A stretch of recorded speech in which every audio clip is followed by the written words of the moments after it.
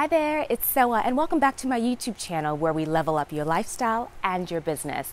Today, I'm planting our summer containers for our backyard. We've been spending so much time here that I wanted to see what we could do to turn the place into a backyard oasis. So if you're interested in seeing what I do with all these plants and pots behind me, keep watching. Today, we're working on four planters. First up is a planter with strawberries. The girls have been itching for a plant of their own to take care, so I thought, why not give them some strawberry plants?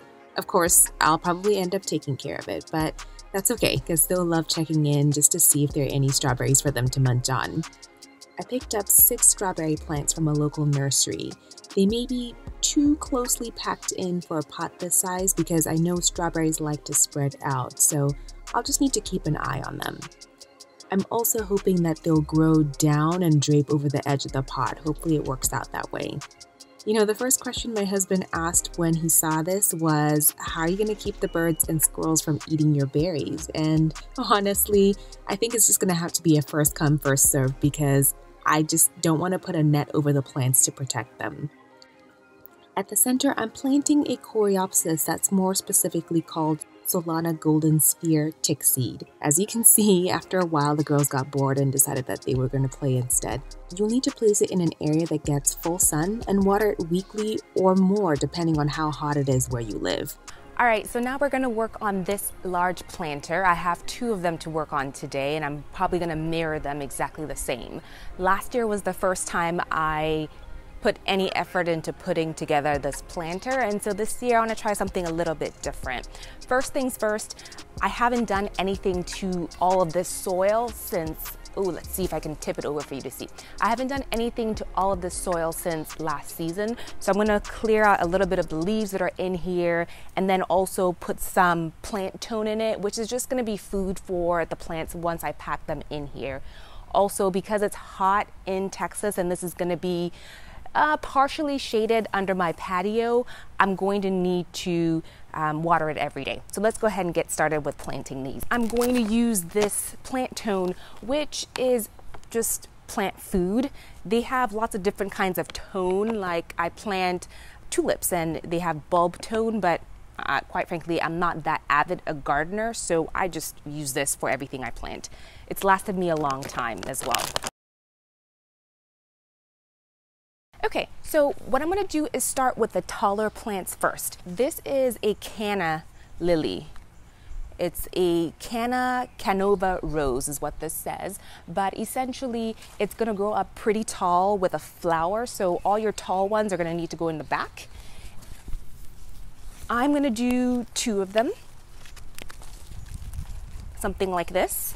And then on the back, we'll do this very colorful leafy plant that likes partial shade. So you want to be sure that you put it somewhere where the sun isn't beating down on it all day long, which is difficult for Texas because we have some pretty heavy, hot summers.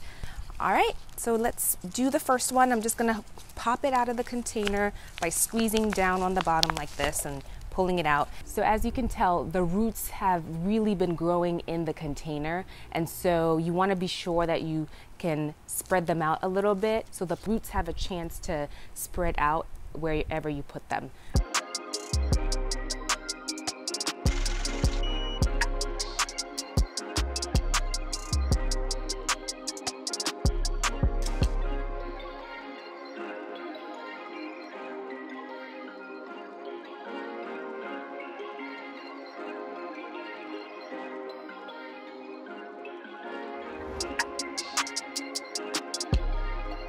Okay, so next I'm going to put in these flowers. So they tend to expand like wildfire and are going to kind of drape and grow down in this way. So I want to put all these purple ones off to the side. And really, all these names that I'm not remembering, I'll be sure to put them on the screen for you.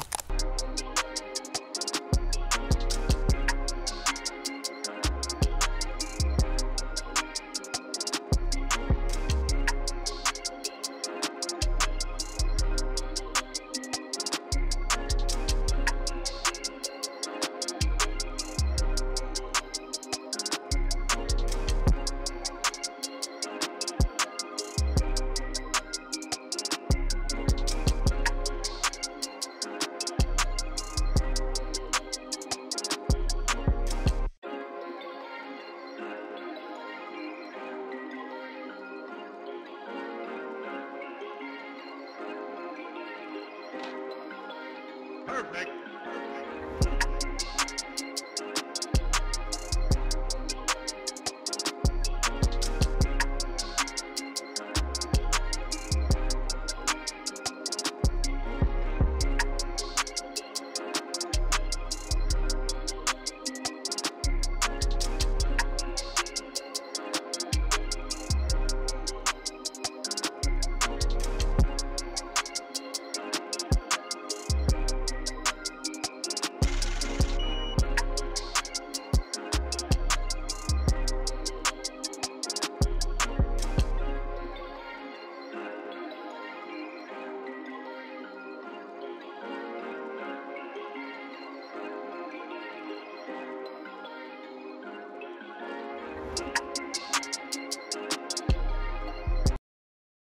Now for the final planter. It already has two plants in it that have survived two winters. I'm not sure what they are. I just know that I found them on clearance for something like 75 cents a while ago. And the girls are back to help me wrap this up.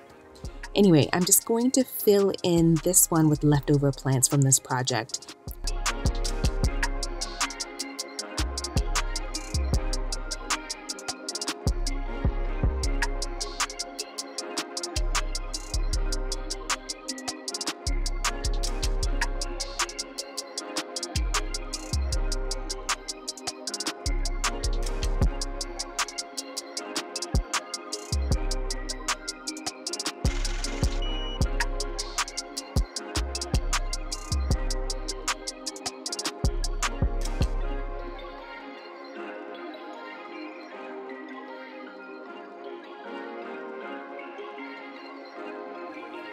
Once all the plants were in place, I watered them thoroughly.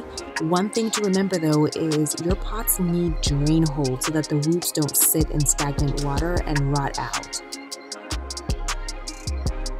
Alright, so there you have it. If you want to see where in our backyard I'm placing these, stay tuned for part 2 of this video where I clean out our patio and get it ready for the summer. Be sure you've subscribed so you don't miss it. This is the first video like this I'm doing, so if you'd like me to do more content like this, there are other parts of my garden that I'm going to be working on this summer, so let me know in the comments if you're interested. Also, please take a screenshot of this and share it with me on Instagram. I'm Serwaa underscore AP on there. All right, we'll see you on the next one.